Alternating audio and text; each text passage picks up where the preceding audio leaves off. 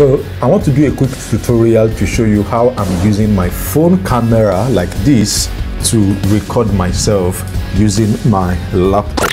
Okay, so right about now I want to show how to use your phone camera as the webcam for OBS and you will observe that I am doing this right inside OBS. The reason why I'm doing it right inside OBS right now is so that you can see the difference between where I'm going to start from and where I'm going to end. Look at this is the camera here right now. You can see this, this is webcam right now. This is how it looks. Even if I turn on my backlight here, you can see that it looks very uninteresting. And well, I don't know why it looks this way, but it just shows that it is not perfect. So I'm going to turn off this light so that I can be clearly seen and we are going to walk through how that works. So we are going to see the end result and we are going to compare with this eventually. So let's get that going. So in order for me to add OBS right now, in order for me to add webcam right now, the first thing I'm going to do is first of all to install the app on my phone. For this side of this tutorial, what you want to do is you want to go to Google Drive. You want to type cam on live. You want to type CamON live and you want to install this first one here. This one here that's what you want to install. So you can see it says installed on my own phone. So if i click on it it says open that is exactly what you want to use for transmitting your video from your phone to your laptop. If i open it this is what you're going to see. It's going to turn it to this. So you find this on your screen. You can see that it's trying to fit it to screen. So i'm going to exit this. And once i have the app installed on my phone i want to now open up the app. There are two ways to connect the app to your phone. You can use your web you can use wi-fi or you can use usb i particularly love usb because i noticed that my usb is faster the communication is faster for usb compared to my wi-fi in order for this to work on my laptop what i'll need to do i'll simply need to change it to usb tethering. The reason is I want to use my USB as my Wi-Fi. I want my USB to be able to send, send media communications to my laptop. So that's what I'm going to do. And then after that, I'm going to come to the camera here. I'm going to turn on this camera and we are going to see the camera right here. So the camera now is opened and this is the camera. Now let me go ahead and set everything else up. So let me fix the camera on the stand right now. Okay, so once you make the tethering connection, once you establish the tethering connection, one of the things that will first of all happen is your laptop will begin to use a network. So you see here it says network 5 internet access. So it's going to instantly create internet access for you on your phone. Now open the app. So open the app. Once you open the app, the next thing you want to do is you want to come to the address it's going to call it address so if it says address simply type that into your browser so here it says 168.8.100 that is the link for me right now. So so i'm going to first of all type this and i want you to see what it's going to look like. This is supposed to be 8 so be sure to check very well. If i type 8 you can see it's not working so 192 plus 168 plus 8 plus 100 is not working so i'm going to now put what it puts here. It says like 8080 80 so now let's enter. Now you can see it instantly worked. Look at right here is showing my laptop right now. And the thing is you can always switch front camera or back camera. So if i choose front camera right now you are going to almost instantly begin to see my face instead. So right now it's changing to front camera so you can see this is front camera here. Now there's a reason why you have to come to this site because this is the site that allows your phone to communicate with your laptop. Now again i'm using usb primarily. So you are not doing any special connection. You don't always have to um, do everything from scratch. You just need to come to this site in order for you to establish to be sure that there is connection between your phone and your laptop. And this is the button for focus. This is zoom out. This is zoom in. So you can always zoom in. You can always zoom in. You can always zoom out. So it is what is found here that that you will now take and put inside OBS let me show you how that works. Right about now I want to go and fix my camera on the stand. And while I fix my camera to the stand, I'm going to flip the camera to the other side. So I'm going to use the back camera rather than the front camera. Okay? So, good one. So now this is the app here. This is the app right here. When you open it, what you want to do is the most important place that you need to pay attention to is this side of the screen, this side here.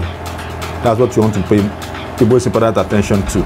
And what you simply need is this link here that is what you want to type into your into OBS when you get into OBS. Now, in order to do all the other adjustments, in order to do all the other adjustments, I'm simply going to select settings and then it's going to flip the screen. Sorry for that flipping, go back and forth. So what you then do is you come to network here, you see port says 8080. You can always edit it, you can always correct it if you want, but I would recommend you just leave it like that. That way sets it up so that it's at default setting for you. If you want to stream, there are plenty other things that you can do with this phone, but for this particular option, what you want to focus on is how to use it with your laptop. So you can choose input device, that is your back camera or your front camera. As you can see, in my own case here, I have my back facing camera, that is the back of my camera, rather than the front facing camera, which is for selfie. So if I select if I select that and I go back, you will see right here that this is the back that is using. So I'm going to select it and change it back to the front right now, to the front facing camera, and you will instantly see my face. So now you can see this is my face here. So that is what it's beginning to use. So what i'm going to do again is rather than use my front facing camera because i have observed that my back facing camera has higher resolution compared to my front facing camera. So i'm going to use my back facing camera. You can always adjust your resolution here. My recommendation is to use 1920 by 1080 and then for focus mode you can use on touch autofocus that is when you touch it. Or you can select i fixed it depends on what you are looking for. If you choose continuous autofocus it's going to keep changing. So i don't usually always activate that. One of the reasons why i love this app is the fact that it has focus it has uh, exposure adjustment. So you can also adjust exposure here. If i turn if i turn that let lock exposure do not adjust the exposure automatically. That is it's going to just be there like this. And then i can select it. Notice here now I'm going to select the exposure now. You can see the exposure is adjusting just as the focus is adjusting as well. So that way I have it fully working right here. But again, the most important place you want to focus on is just that and you can find the network if you want, if you can't find the network on your screen you can find it down here in this information. This is where you find the network. This side here this is where you find the information. This is available local network it's going to use your wi-fi network anyway and this is public ip address. So it's going to use your wi-fi address. It's going to use a wi-fi ip address. That is as simple as it is. So anytime you open it up once you have that setting set up it saves your setting automatically. So anytime you just open it all you will then need to do every time you open it is just to check the IP address here because the IP address from my experience this is the third time I'm using it because I've I've just recently discovered it. So this is the third time I'm using it. And the first time I used it I used it that is I used it twice at the same time. This is the third time I'm using it. And I observed that the IP address has changed. So the IP address will often change from whatever it depends on your um, internet so that said, this is where I will end this and then we'll move into how to put all of them together. See, this is the back facing camera. You can see how the communication is established. You can see how it looks a lot more interesting. If I turn on this light here now, you will see the difference. Can you see that this looks more interesting to the eyes compared with the one I had inside OBS? Compared to the one I had inside OBS. So this is the one OBS. This is what OBS is speaking right now. This is what this is speaking right now. Can you see the difference right now? If you compare this with this one inside OBS here, you will most likely see that there is a lot of discrepancy. This is not looking great. This here is looking great. So how do I take this and drop it inside OBS? That's exactly what I'm going to show you. For this, I want to simply add a new source. This time around, I want to add phone camera source so i'm going to click phone camera source here i'm going to start from scratch I'm going to add audio input capture and I'm going to add existing. I'm going to select this. I'm going to click OK. And I'm also going to add here now what I'm going to add is going to be called media source. Now for this I'm going to simply type CamON phone. So let me just call it CamON phone. I'm going to type OK and it's going to pop this up. Local file. I'm not going to use local file so i'm going to tick off local file. Then it's going to open up where i can type something. So right now i'm going to type here. I'm going to paste that link. And then i'm going to come back to this. And then in front of it right here you can always access this page here to see how to set it up in case you run into any error I'm going to put this link in the description so that you can always pick that up. So you see that right here it says one night you should put your in slash video slash h264. So I'm going to go back to this. I'm going to type video slash h264 and then I'm simply going to click OK. Now problem number one is not working. This is this here. So it shows like it's not working. So let me right click and choose transform and then make it fit to screen first. Now it's not working. So what does that mean? It means something is not correct. So if you try http and it doesn't work what you then need to do is to simply change it. Now if you observe in this place here what they wrote is rtsp not http so simply change it to rtsp and then click ok and almost instantly your video comes live now comparing that with this Logitech, look at this is Logitech here. This is phone camera source. Now, what do you? Which one do you think is clearer? which one do you think is clearer? You can see that this is a lot better than even webcam. So this is exactly what I do. This is how I add the audio to. This is how i use this as my own source. Now one of the things that i've done is also to use the audio source coming from the phone. So here I'm using the audio coming in from the camera. That's because I'm using H264 now you can also change that to M. Um, you can try there are different variations that you can use. So some of the variations that you can use is also you can also use the address mjpeg so it now looks like this mjpeg or this I'm not using password, so it's best not to use password so that you don't get to experience any technical challenge. So if I'm going to change this to MJPEG, so let me try the MJPEG and let's see how that looks. So I'm going to type this here. I'm going to press OK. And I'm waiting, I'm waiting, I'm waiting for it to stream.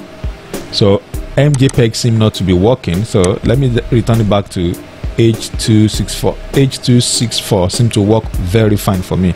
So okay, and then I'm back on the screen. Now I'm using the back camera. Remember, I'm not even using the front camera. And remember that you can always come back here and zoom in. So I can always come back here and zoom in. So I'm zooming in twice now. And then let's go inside OBS. So you can see inside OBS here, you can see I'm zoomed in. So if I move this this way, so you see, I'm properly set up now. Now my head is cutting off, so that means I need to zoom out a little just once and then come back to OBS you can see my so if I turn back off this light you can see here you can see that everything is still looking very clean so this is exactly how this is exactly how I set up my my video so that everything looks clean. Now you can add the filters that I added just as I did that time. So you can still add the filters of color correction. You can still add all that. So you can choose to add contrast. You can choose to drop the contrast. You can choose to expose. You can choose to reduce the exposure rate. So you see that it's looking vivid sharper. You can choose to increase saturation. You can choose to decrease saturation so that it looks just cool. Everything just looks cool.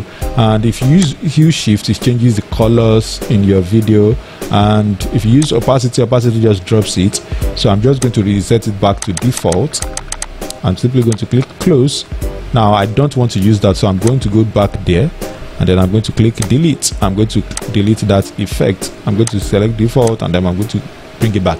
So this is how I use my phone camera as my webcam now I'm using USB you can use Wi-Fi if you choose. If you use Wi-Fi, it means your Wi-Fi needs to be on on your laptop and your Wi-Fi needs to be on on your phone.